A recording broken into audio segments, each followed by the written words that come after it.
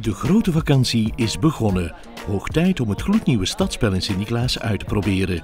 En dat is niet zomaar een spel. Met een smartphone in de hand beleef je een cool real-life groepspel.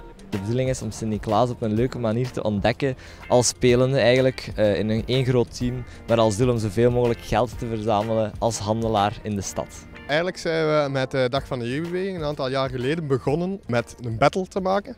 En we wilden dit jaar iets nieuws, iets verder proberen. Uh, met 800 jaar Sint-Niklaas uh, was eigenlijk een ideale aanleiding om het iets breder te bekijken en eigenlijk volledig de stad te laten kennismaken met de creativiteit van die jeugdbewegingen hebben. Je hebt 1000 euro in je schatkist liggen. Die schatkist die ligt ergens op een plein. Nu vraag je aan Lothar in welk plein ligt die, waar is die schatkist dan? Wel, op je gsm gaat een zwart pijltje staan naar je schatkist. De bedoeling is eigenlijk om geld te verdienen op verschillende manieren. Dat kan enerzijds door eigenlijk belastingen te innen in wijken die je kan veroveren, maar je kan ook handel drijven, dus naar een soort van virtuele winkel gaan, daar goederen kopen en die dan echt op de markt zelf te komen verhandelen.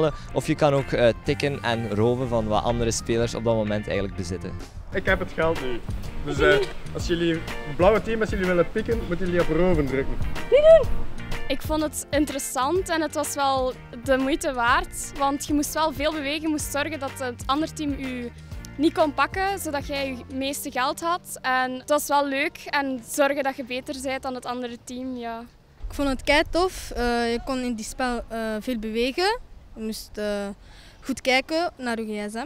De app mag dan wel met jeugdbeweging in het achterhoofd ontworpen zijn, toch kan iedereen het spel spelen. Vanaf dat je met vier spelers of meer bent tot 36 en je hebt even tijd om naar het stadscentrum van Sint-Niklaas te komen, kan je eigenlijk de app spelen. Als je tegen oudere mensen vertelt, zeggen die vaak oei, dat is niets voor mij.